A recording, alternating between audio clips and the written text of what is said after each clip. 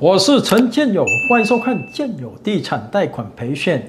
这是第一集的华盛顿 DC 贷款执照法系列视频。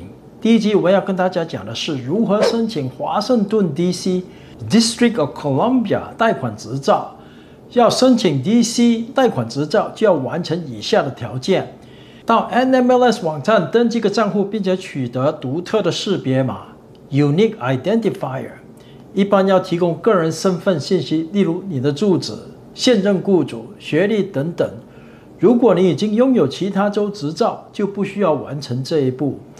完成二十个小时执照前课程，这这二十个小时必须包括三个小时的 DC 贷款执照法。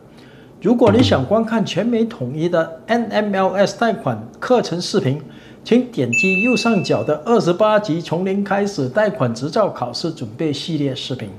你报名二十个小时课程的网站会直接把证书上传到 NMLS 的网站，description 里面有这个网址的链接。如果你已经拥有其他州执照，那你就不需要重新考试，你只需要完成三个小时的执照前课程。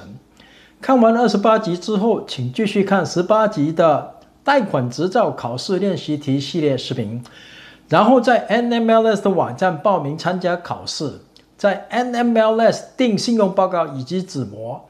做纸模不需要在 DC，你可以在靠近你住家做，然后支付相关申请费用。不需是公民或者是绿卡，但是必须是合法的工作身份，必须事先找到雇主赞助执照才能通过。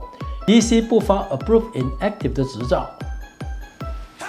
你可以点击以下的链接去看下一集，下回见。